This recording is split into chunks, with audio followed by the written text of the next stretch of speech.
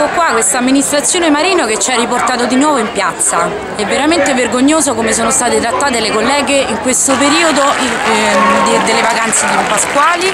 è vergognoso come ci stanno togliendo la dignità lavorativa, è vergognoso come stiamo lavorando. È un, veramente modo di lavorare che non ci permette di dare la qualità nei servizi pubblici e, e questo ci dispiace molto perché noi siamo colleghe che comunque maestre e insegnanti che abbiamo lavorato e abbiamo, abbiamo dato tantissimo per questa professione e non è giusto che questa amministrazione ci stia trattando in questo modo, ci sta trattando veramente da pezza da piedi.